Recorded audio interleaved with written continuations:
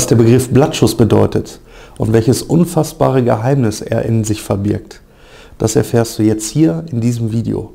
Let's go! Hallo liebe Yachtfreunde, mein Name ist Timo Gerd, Gründer der Jagdschallakademie und Entwickler des Konzepts Jägerleben.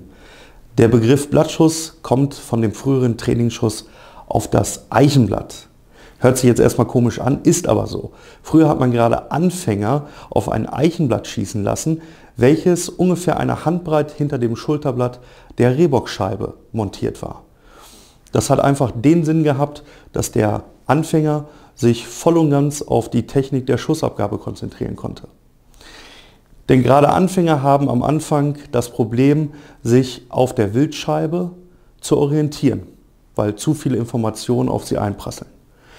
Diesen Tipp, den haben wir in, unsere, oder in unser Schießtraining übernommen.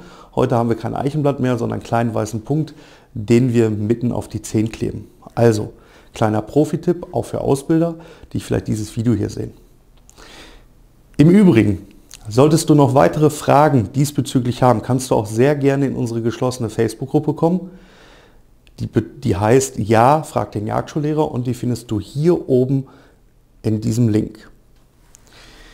Wenn dir das Video gefallen hat und du noch sehr gerne weitere Videos dieser Art sehen möchtest, gebe diesem Video doch einen Daumen hoch, kommentiere das hier unten, schreib vielleicht auch den ein oder anderen Vorschlag, den ich dann für dich sehr gerne erläutern werde. Und solltest du das Ganze jetzt von deinem Handy ausschauen, dann klick hier einfach auf das schwarze Dreieck, dann öffnet sich die Beschreibung und du kommst dementsprechend auch zu den kostenlosen Inhalten. In diesem Sinne verbleibe ich mit freundlichen Grüßen. Horidon Waldmanns Heil, Dein Timo von der Jagdschein Akademie.